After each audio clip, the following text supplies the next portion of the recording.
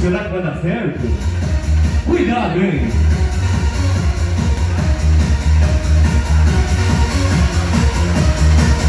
Vamos, bicha.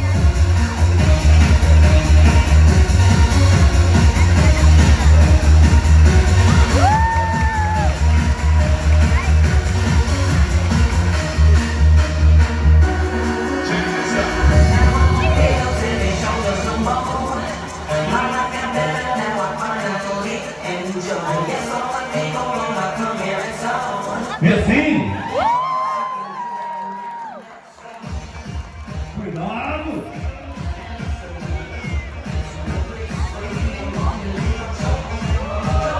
Valeu! Richard! É, faz